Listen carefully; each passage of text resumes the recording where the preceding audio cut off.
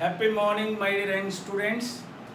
Today I would like to explain you about emotional intelligence or EQ.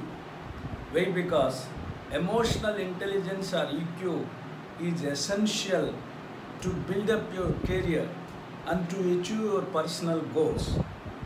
That's why I would like to share my opinions regarding emotional intelligence or EQ. What do you mean by that? Emotional intelligence or EQ?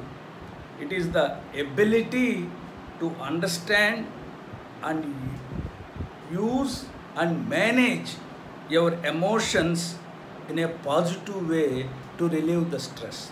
What is emotional intelligence? So, that is emotional intelligence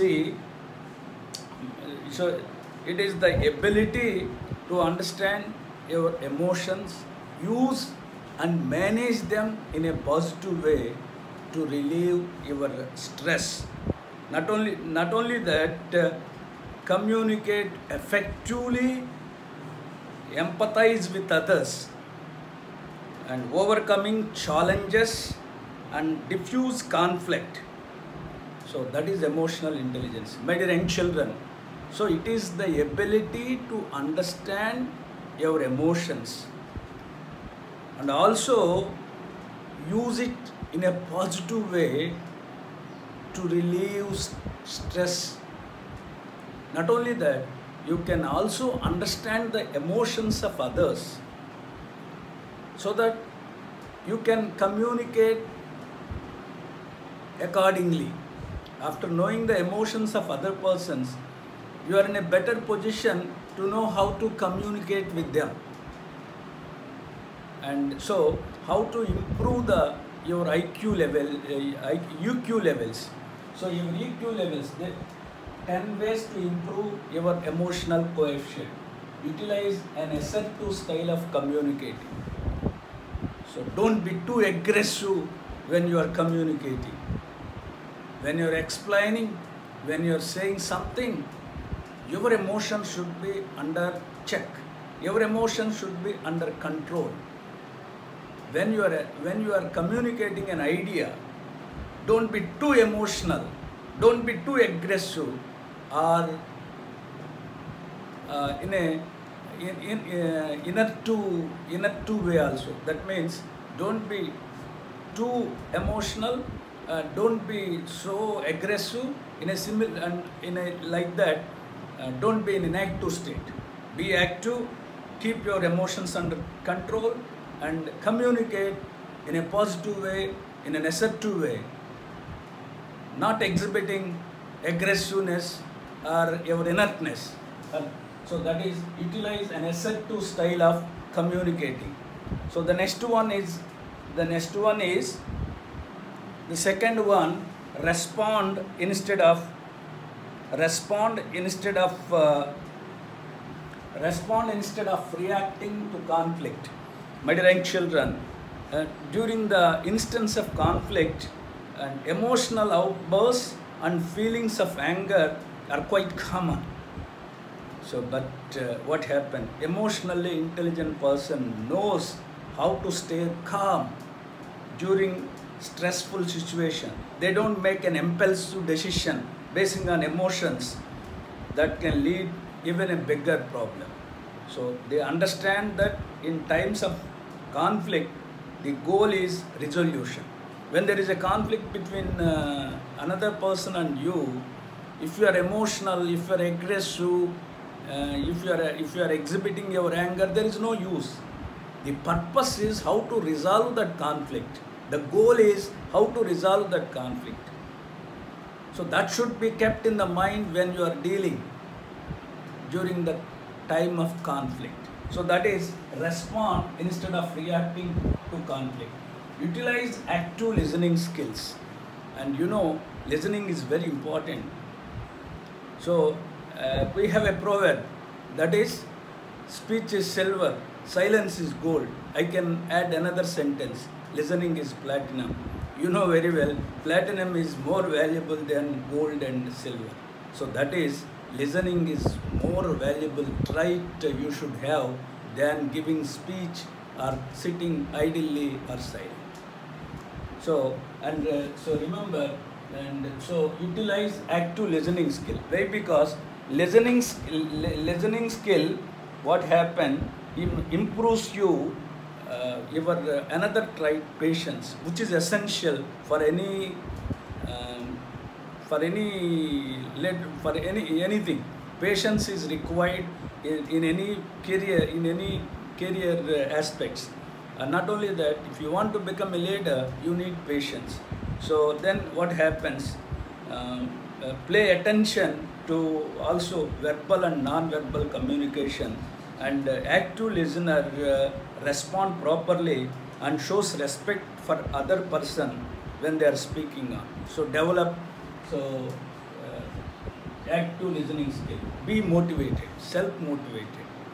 So when you don't get what you want sometimes, motivate yourself.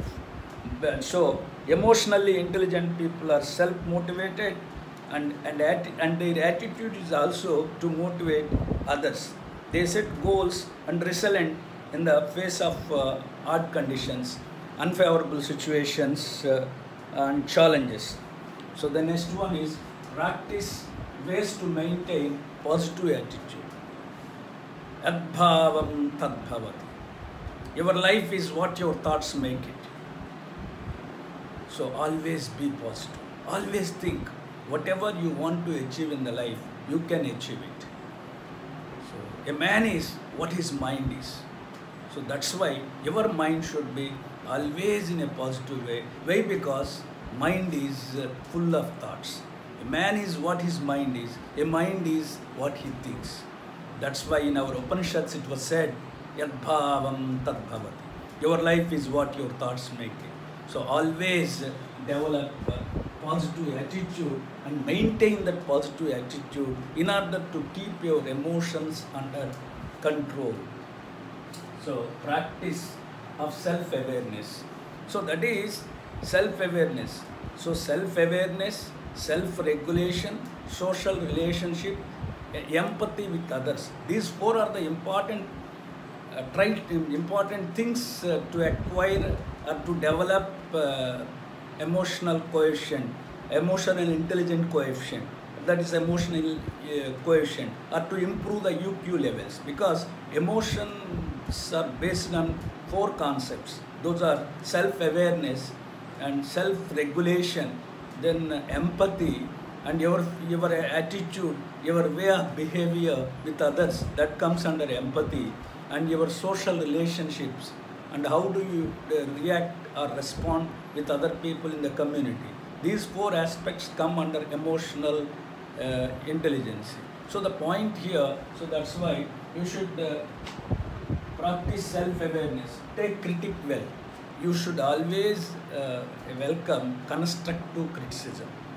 So other people will come to know where we are making mistakes if they can uh, they can make a criticism with a good intention and in order to set right our mistake and in order to educate us and in order to make us to learn always take that criticism in a positive way. And learn uh, from that criticism and uh, and uh, an- analyze the mistakes uh, you make when other people say that's why always uh, take constructive criticism in a positive way. Empathize with others. Simply say when you are dealing with the emotions of other person when you are in that person positions how do you react? That is empathize with others. So as a leader you will have to deal with uh, different kinds of uh, people in different kinds of situation so if you were in that situation how you would act that you must remember that you must realize so utilize your leadership skills. So take an initiative and try to propose a resolution for uh, resolving a conflict. Propose your suggestions, and so that is utilizing your leadership skills and uh, so be approachable and sociable. So you know what happens uh, when you when you achieve your goals, when you become a top leader in your organization, don't feel that you are something great. Don't feel that you are above all of above all, but permit them to approach you and also be sociable. Man is a social animal, so don't uh, don't be too egoistic and uh, uh, so allow others to approach you to tell their problems and also you also should be sociable with others and like this if you can follow these 10 principles or 10 ways you can improve your EQ levels. Once you improve your EQ levels, you can build up your career in a in a very good manner, and also and you will become the leader for your team. Also, you can produce more if you are in an organization, and so like that. Follow these ten principles and be a mo- be the most uh, intelligent person I prefer to call most emotionally intelligent person and get what you want in your life. Wishing you all success. God bless you.